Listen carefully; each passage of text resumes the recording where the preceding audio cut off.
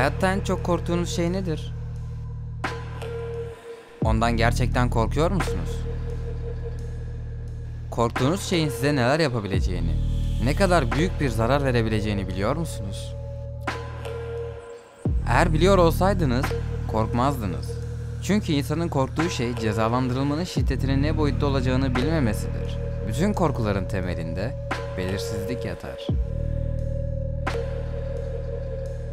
Bu konuya örnek olarak Stephen Zweig'ın Korku kitabı verilebilir. Önerdiğim bir kitaptır ancak bu videoda kitabın içinde geçen olaydan ziyade felsefesinden bahsedeceğim. Örneğin birisine borcunuz var ve bir hafta sonra o borcunuzu ödemeniz gerekiyor. Ancak borcunuzu ödeyecek durumunuz yok.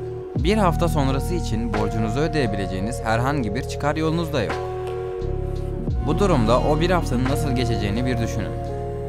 Rahat bir öğün yemek yiyemezsiniz. Rahat bir uyku çekemezsiniz. Stresten dolayı günden, güneşten bile nefret edersiniz.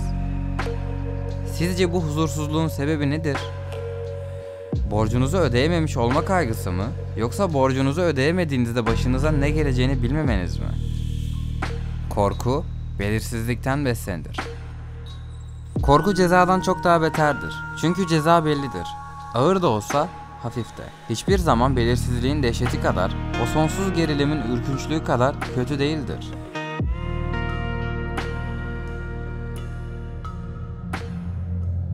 Korkuyu ortaya çıkaran iki sebep vardır. Ya sorumluluklarını yerine getirmemek ya da suç işlemiş olmaktır.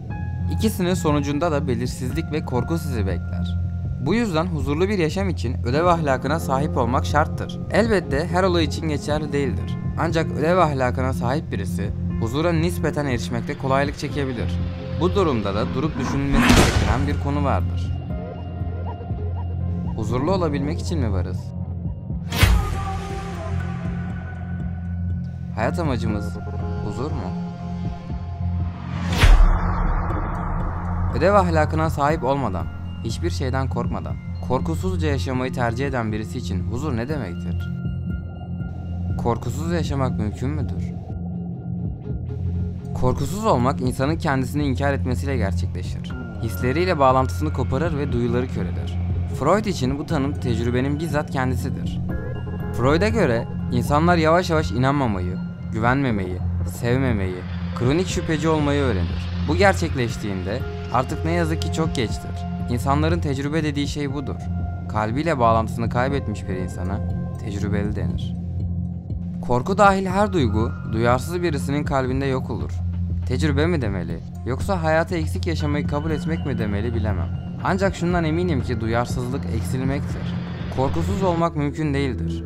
Ancak duyarsız yaşayabilmek acı bir gerçek. Bu videonun sonu diğerlerinden farklı olarak ölümle bitmiyor.